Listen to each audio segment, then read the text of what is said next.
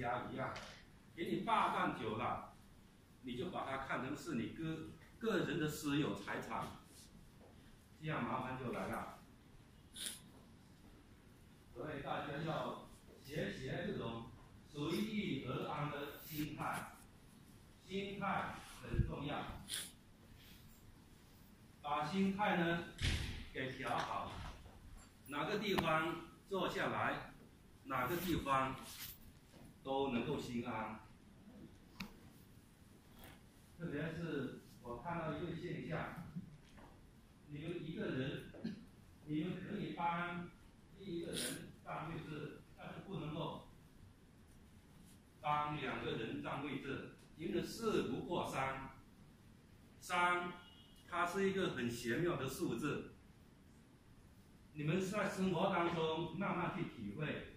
一个是三，一个是九，九是奇数，所以呢，阿拉伯数字只有到九。咱们中国的周易也只有到九。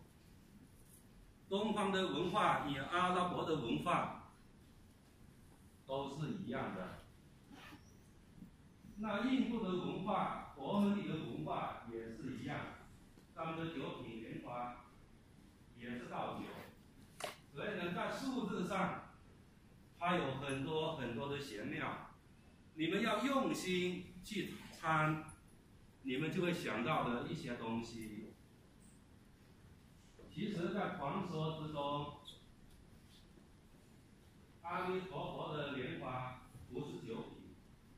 而是十二品，它是十二品莲花，但是为什么从十二品的莲花会降了三品变成九品级数呢？传说呢，在远古的年代，阿弥陀佛，他他刚刚发了这个愿，要建起这个极乐世界的时候，他当时呢就是用他的法宝。十二品莲花，来建起这个佛国，支撑起这个佛国，再用他的四十八愿的愿力来庄严这个佛国的道场。他当时的愿力特别的大，他的愿力是包含整个虚空宇宙所有的十法界的众生，不管有缘没缘，他都要把它渡到这个极乐世界。后来发现到。一个大大的问题，什么问题呢？无言的众生，他们的业力太过大了，大如须弥山，连他的极乐世界都没有办法来压得住这些没有缘分的众生他们的业力。所以呢，他的极乐，所以他的十二品莲花，当时就硬生生的汇了三品。变成现在的九品莲花，当然，你们听听就可以了。这个呢也就说明了，佛门只渡有缘人，有缘啊，我们才有办法。你们不发起这个心，不发起这个缘分，我们法师。功夫再厉害，我们的佛菩萨再厉害，也没有办法把你给接引进来。为什么呢？没有这个缘分，我们没有办法承担起你你这个业力啊。当这个业力，你想要让人家来帮你，来引导你，需要缘分的。需要你跟他有一定的因缘发生了关系了，大家才会来帮你承担这个结果。所以呢，在禅堂里为什么要追求一和相一个团体？也就是说，在这个团体，在这个一和相之中，大家所有的业力所显现出来。咱们这么多人才能够把它给承担得住。如果你是一个个体的，你跟这个团体没有缘分的，那么你就自己背吧，你自己的因果、自己的业力，自己去了结。大家没有这种缘分来助你这种因缘，所以呢，在整个团体当中，你们就会发现到，当一个人的业力现前，当一个人厄运重重的时候，他突然跑到事业的一个团体之中，融入到一个团体之中，他就发现到，他的很多种种的灾难，很多种种的不顺利，就到此为止，再也不会再加重下去了。因为呢，有这种团体的力量在帮你助这个因缘度过这一切的苦难，这个呢就是团体的力量。团体的这种力量无声无息，非常的玄妙。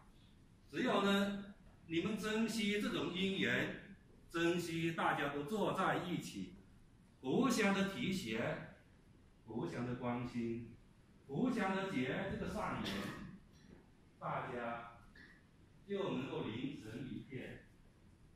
大家凝神一片，咱们团体的力量能够显现出来。特别是长塘这个地方，长塘这个地方是显佛场，所以呢，在到处所有的长塘当中，门口都会贴一副对联：“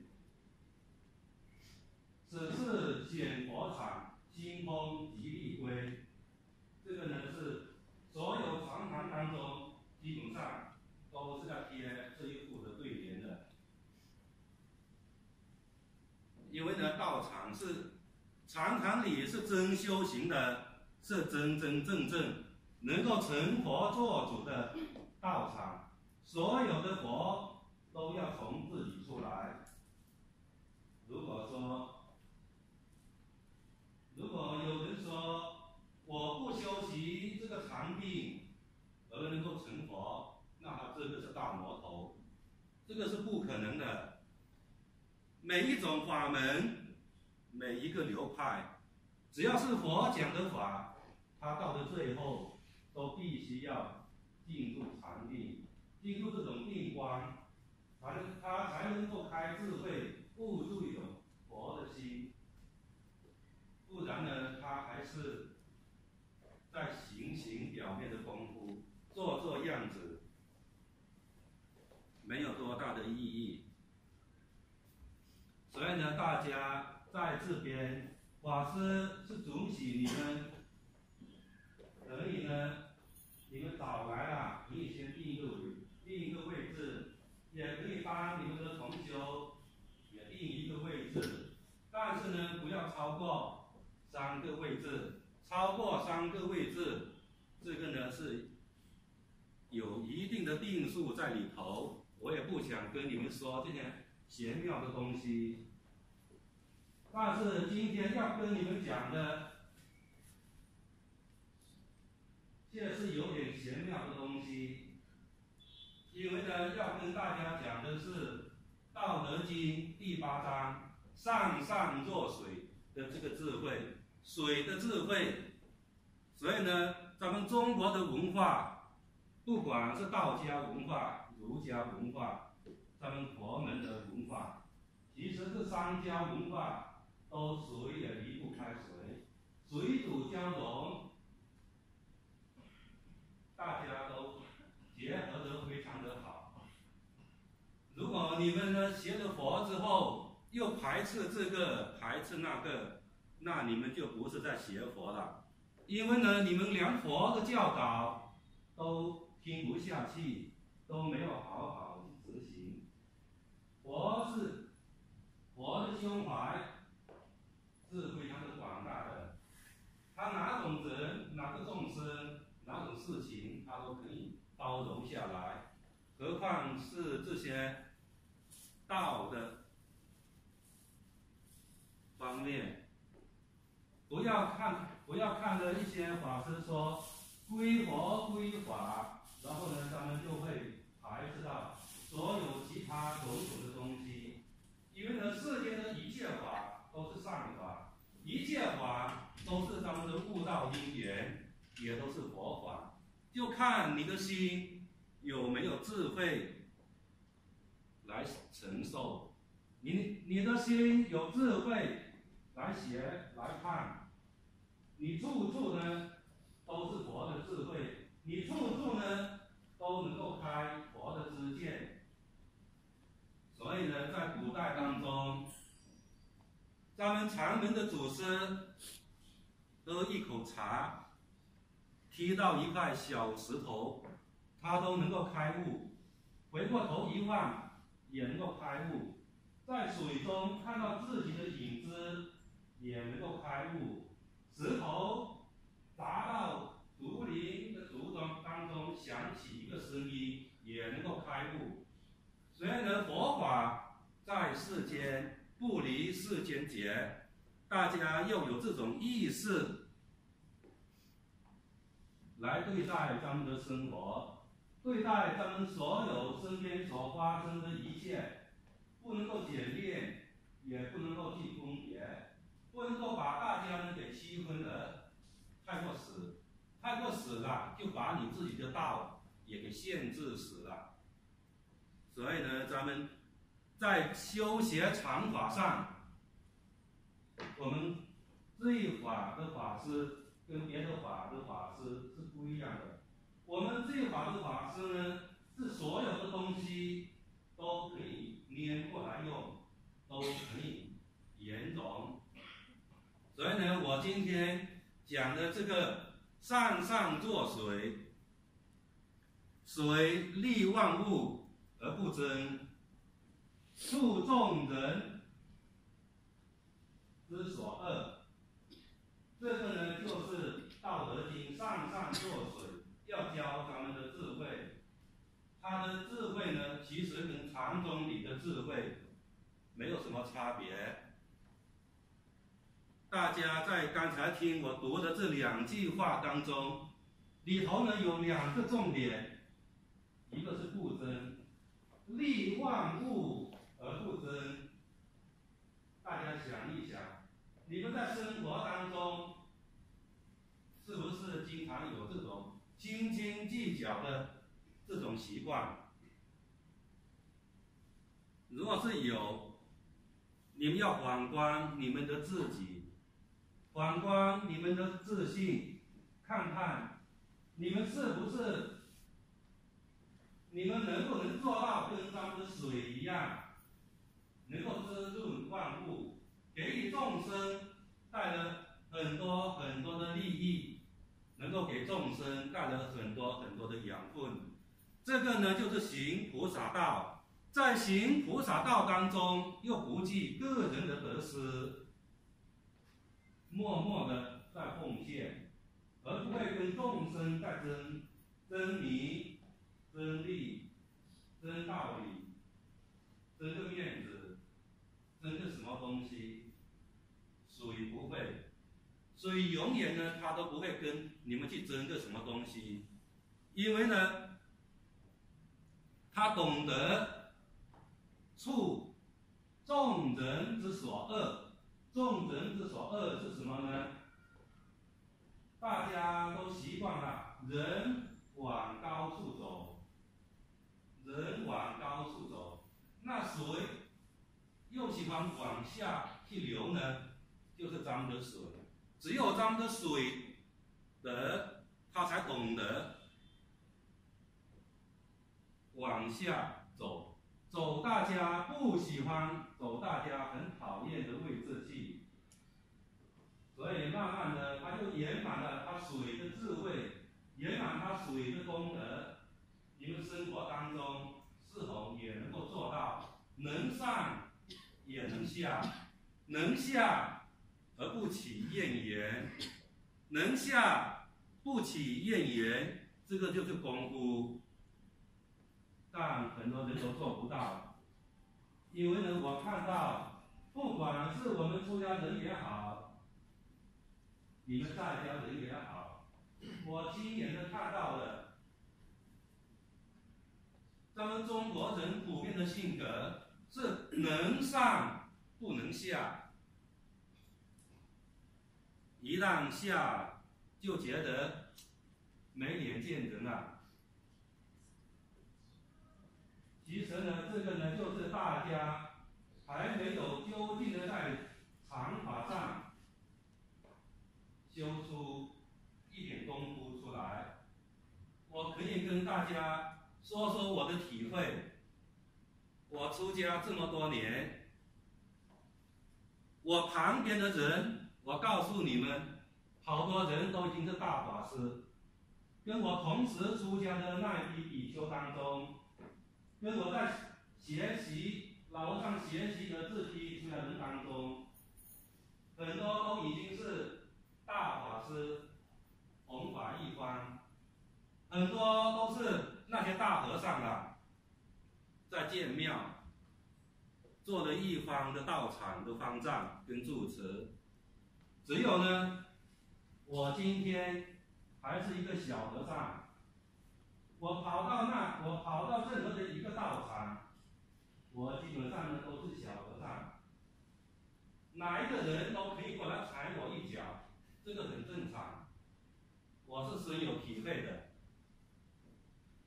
因为呢，在之前我所任过的职最大的是堂主，堂主是什么呢？是在寺院里非常小的一个职位，一个西职，西的。所以呢，在寺院里，我是常常呢，都是给人家每个人过来踩一脚，呃，或者是说些方言话，这些都是很常见的。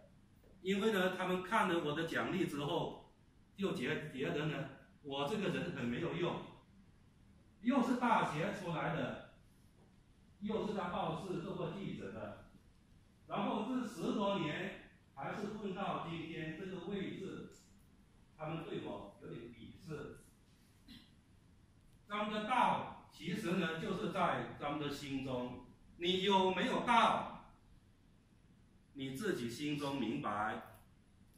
你有没有了脱这个生死的志向？你自己心里明白。在佛门里。不是看哪个人的官当得大，不是看哪个人的名气大，他的修行就很厉害。所有的出家人当中，只有一个志向，谁能够了脱生死，谁就厉害。在这一点上，我发现到你们在家人。在看人的时候，还是没有我们法师看得比较利，所以呢，经常呢会有居士来我这边抱怨，他说：“我看那个法师以前非常的好的，怎么最近看了新闻他又出事情了？”我说这个很正常因为呢，出家人也是凡夫，大家都是凡夫。只要是凡夫，咱们总会有走错的、走错路的意识。所以呢，咱们修道的人，咱们学佛的弟子，老佛爷就叫咱们依法不依人，依法不依人，你就不会烦恼了。你就在修佛法的时候，他就是他，你就是你，我就是我。只有呢走到彼岸的人，他才能够真正的开了佛眼，他的佛的智慧，他才有资格呢再说咱们每个众生。所以呢，在没有成佛。在没有功夫的时候，咱们就要老老实实的学这个水的智慧，不断的往没有人愿意去填的地方去流。当有一天你把这个坑给填满了，水位它就自然的会增长。这个增长才是你真正的功夫，你不要去拔苗助长，拔苗助长伤害的是你自己，你得的是一个面子，得的是一个，这是一种假象。所以呢，修佛的人，特别是长修的人，他们不要修这种假象，也不要修这种空。我说的这种空，不是那种空气，我是修那种呢无所谓谓的那些虚名。咱们要实实在在的，一步一步从一个低处。的台阶，慢慢的爬。当他们把这个坑给灌满了，他们自然呢就会慢慢的朝上，朝上，涨到有一天水，它就它不仅仅呢是可以带给众生利益，同时呢它也是能够主宰一切宇宙的大地。所以呢，咱们的力量是来自于咱们懂得以水的这种性格来积累咱们的德行，来圆满咱们的人格。不要怕，不要怕呢，你们往低处走了。你们就遥遥无，因为呢，你要相信你自己，相信你的志向。如果你对自己是坚定不移的，我敢相信，咱们总有一天都能够走到彼岸，而不会。给困在一个小小的池塘，大要学习这个水德，学习了他这种感一处众人之所恶的这种地方，不要有所抱怨。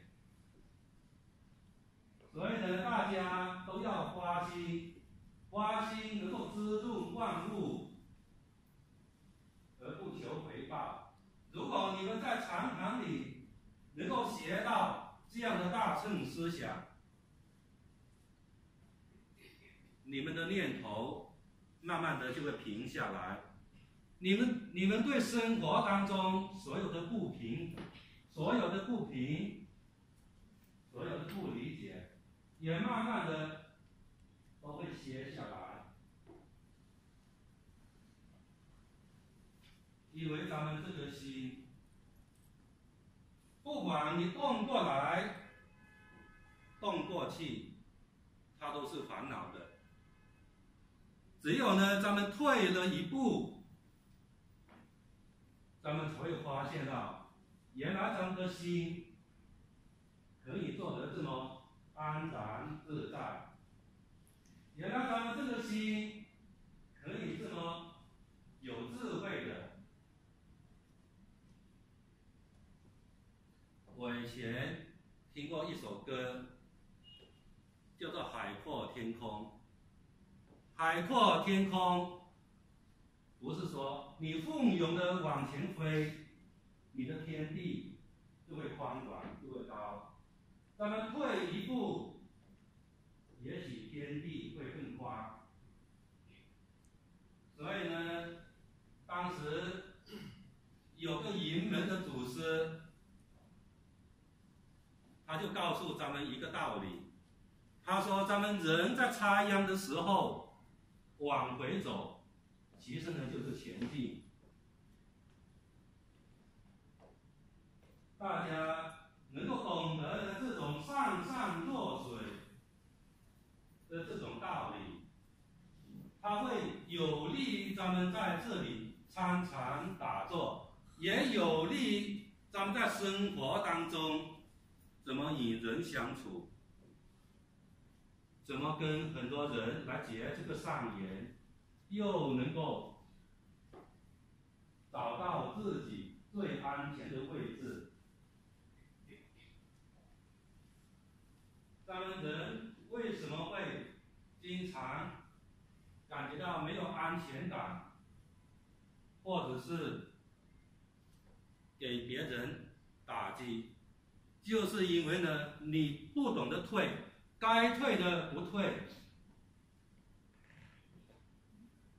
事情它就会发生。咱们的德行跟咱们的位是相匹配的。当有一天，旁边的众生、旁边的人都觉得你没有这个能力，你没有这种智慧。或者才华来做这个位置的时候，你要有所知觉。所以呢，在历史上，凡是能够急流勇退的，都能够名留千古；凡是恋恋不舍的，到了最后，都会造成杀身之祸。不管你所建立的工业有多大。你所创造的历史价值有多大？到头来都是一场空，留下的是咱们今天读到这段历史对他们的人与事的感叹。所以呢，咱们不要小看这个上上作水，上上作水，不仅是智慧，也是在教会咱们的。安身之处。好，今天晚上给大家过香的时间是十分钟。等一下呢，我们下去行香，看看大家做的怎么样。